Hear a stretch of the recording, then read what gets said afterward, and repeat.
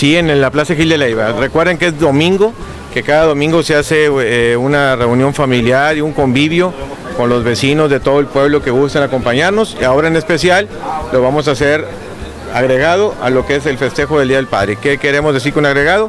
No va a haber cintas, va a haber un grupo en vivo, va a haber regalos, va a haber sorpresas, por lo pronto entonces eh, voy a estar presente yo ahí para convivir y lo que los invito es que están con nosotros, que nos acompañen y que disfruten su día. Es el Día del Padre, es el día en el que lo que los papás pedimos siempre es convivir con la familia, es, es tenerlos a todos, recordar a los que ya se nos hayan adelantado y estar presentes en, en la unidad que distingue a Montemorelos en sus familias.